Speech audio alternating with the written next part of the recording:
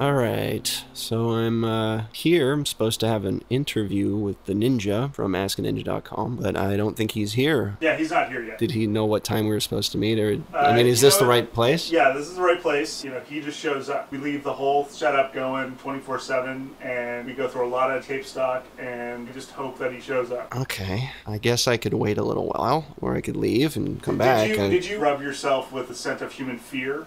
That, that typically No, I I haven't done that yet. Maybe I should, but I think I'm gonna go and maybe I'll come back in a little while. Uh, that sound okay? That's your head, literally. Hey, yeah! Hey, where's the Doog guy? He said he was gonna be here. I'm right here. Oh, there you are. That's pretty sneaky right there, buddy. Sorry I'm late, but I am caught up in this holiday season. It's exciting. So are ninjas really into the holidays? We love him. How about Jack Frost? That guy has nipped over 4 million noses. Nobody's ever seen him. Baby New Year and Father Time, they're a ninja team. Every year they have to battle the demon Old Man Winter just to keep him from freezing existence as we know it. That is no easy task. Santa, of course, huge ninja. Come on, both literally and metaphorically. Is there anybody else? Of course, you've got Santa's elite guard, the Pain Deer. Pain deer. That's right. You know Slasher and Lancer and Stabber and Stix'em, comma and cuts it and Deather and kicks 'em.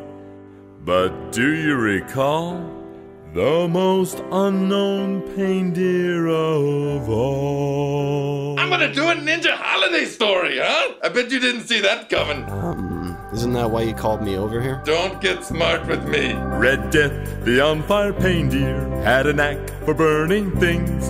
And if you ever saw him, that probably meant you were about to be burned badly. Okay, so way up somewhere in the Black Pole, they were preparing for the holidays and everybody was really busy. Then it was three days before anyone noticed that Mrs. Claus had been brutally slaughtered. No, Fiddlebottoms! Frosty, that incorrigible zombie snowman has killed Mama Claus and eaten her brain. Santa was really upset about it, but he didn't have any time to do anything about it because he was too busy making his list of what deadly stuff he was going to give to the boys and girls of the world. Don't worry about it, Santa. Lancer and I will avenge your death, and we'll make that frozen living dead bastard Frosty into a dead, dead bastard. Just then, there was a knock at the door, and guess who it was? Um, Jennifer Love Hewitt? No, that's completely wrong because there wasn't even a knock at the door. The door just burst into flames because it was Red Death, the on fire pain deer. Huh? How about that? Who actually was a pretty unpopular pain deer because he was always on fire. Mrs. Claus was pretty much the only one who liked him, and I think she was faking it. Oh, Bittlebottoms! Red Death, you caught my house on fire. Yeah, you flaming idiot, and you melted the tracks left by Frosty.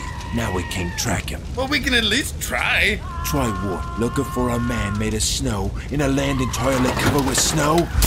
That's like looking for a bad spoonful of soup in a pot of soup. So Red Death hung his on fire head in shame and left the Black Pole. But he had barely gotten past the forest of Whitaker when suddenly he found himself surrounded by psychopaths. These were some oversized, insane goats. So he's surrounded by all these psychopaths when suddenly, out of nowhere, this little enchanted piece of metal flies up and cuts all the goats' tongues out. And the psychopath went running away. Hey, thanks, piece of metal. You saved my life. I'm not just a piece of metal. The just a piece of metal exclaimed. My name is Spinny, and I'm a shuriken. But you don't have any pointy parts like a shuriken's supposed to. I'm just a little misshapen. Hey, you know what I just realized? I'm on fire. So this ice floe is probably pretty much the worst mode of transportation possible. Yay! I'm gonna take you home. And this is the part where Red Death and Spinny become best friends and they sing a song. Listen to this. Death to the world of bad, bad things. And food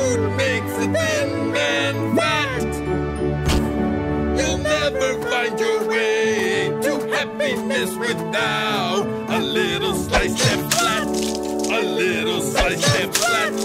We'll cut and gut and punch